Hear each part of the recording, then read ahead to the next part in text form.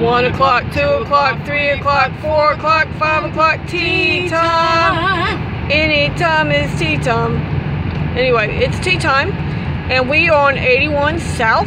That's right, we're on 81, not in Virginia yet, in Pennsylvania, Pennsylvania. Turn with us today, please, to Mark chapter 11, verse 23 through 25. Mark chapter 11, verse 23 through 25. Speak to the mountain. That's what we're going to talk about today is how to speak to the mountain.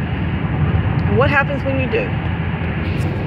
Here we go. Got it in yellow in my Bible. I don't know who Mark put that X there. That wasn't me. But anyway, it could have been one of my children and many moons ago. Uh, right here.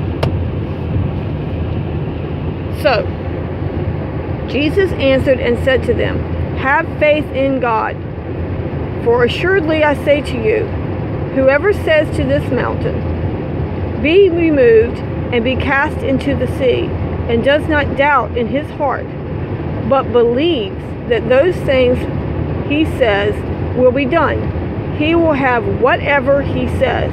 Therefore I say to you, whatever things you ask when you pray, believe that you receive them, and you will have them.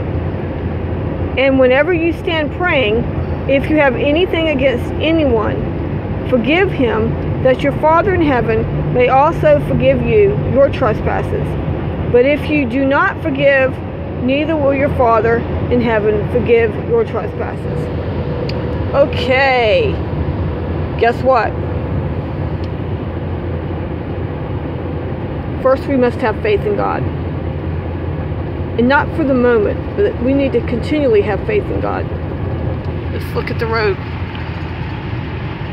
For assuredly I say to you, whoever, that means me, say who I am whoever. Okay, we are whoever. Says to this mountain, not to that mountain, but to this mountain, this mountain that is in front of me. This mountain, mountain this mountain that is in my life. Okay, whatever that mountain, you know, the Bible talks many times about metaphors. Now I do believe that you can actually move a mountain if you believe in your heart that you can.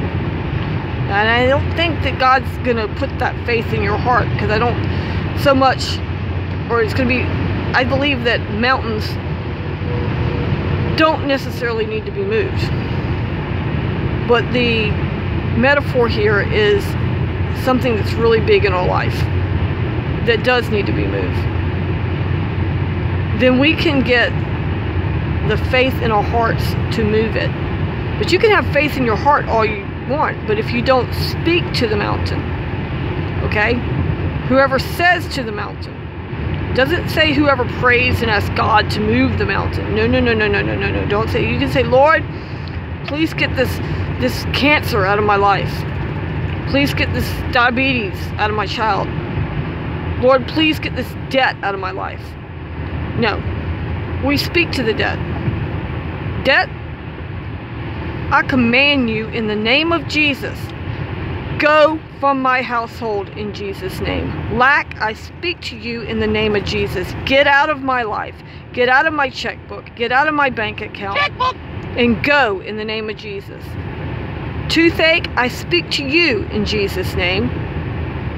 Go from me right now. Get out of my mouth.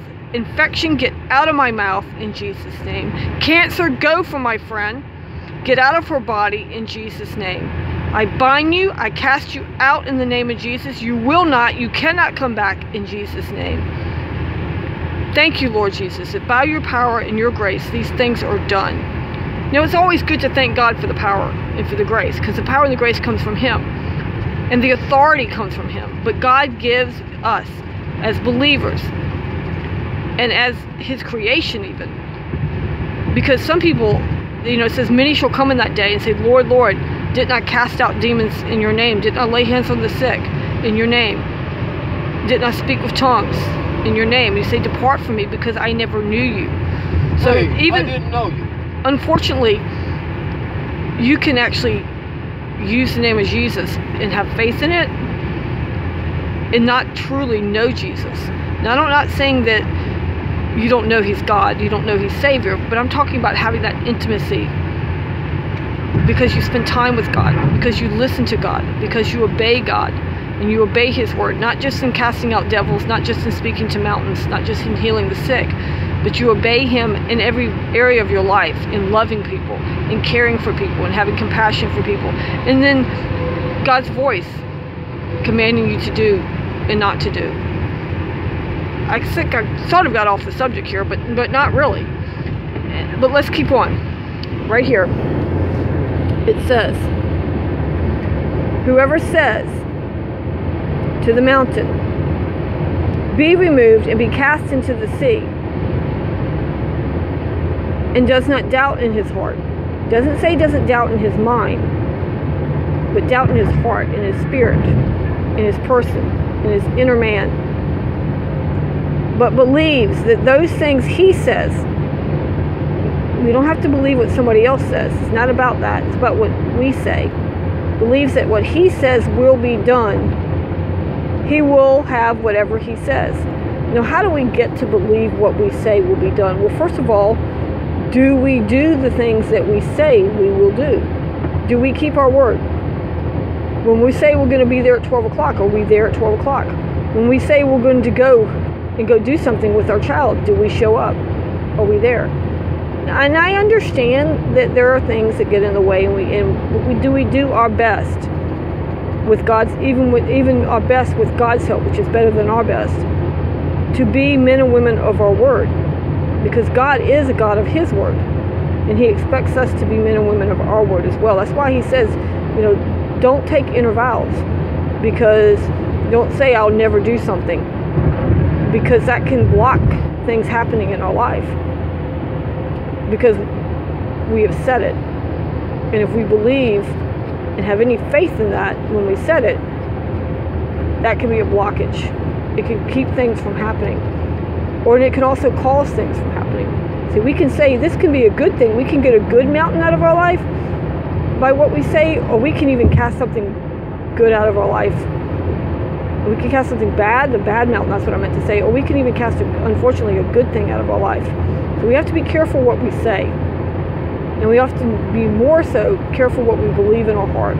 But if we don't doubt in our heart and we speak to the mountain, then we shall have whatever we say.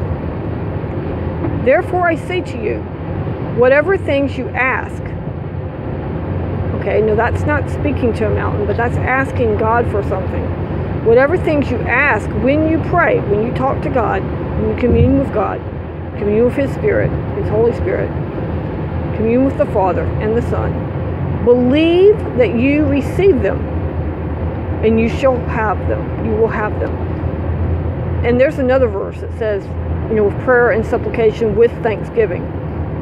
Because when you believe that God has already given you something, then you go ahead and thank Him for it. I know that there are some children that are very blessed to have parents who, when they say they're going to buy them a dress, they say, Yes, honey, I will buy you that dress for prom. Then they just get so excited and they thank their mother, they thank their father, because they know that their parents just told them they're going to do something and they're going to do it. And that's the way we need to be as individuals. And that's the way we need to be with God. We need to say, Thank you, Lord, Thank you so much, Father, that I believe that I receive. I receive the money I need to pay my rent, to pay my mortgage. I believe that I receive healing in my body. Because we can ask God for that. And we can command sickness and disease to go from us. That's the, if that's the mountain in our life or in the lives of our loved ones, our family, and even our friends. And we, we can thank God for healing. Okay? We can thank God for his healing touch and for His power and for His grace and for His provision. But let's not forget a very important verse. Sometimes people quote those verse, those top verses right there, but they don't go on to the next one. And right here it has it divided. I don't like that because I believe they truly, truly go together. Because Jesus says and. Okay, and means it's it's including. Okay, it's coming, bringing the two verses together. And whenever you stand praying, if you have anything against anyone, okay, if you have bitterness, if you have resentment, if you have anger, if you have hate, forgive him.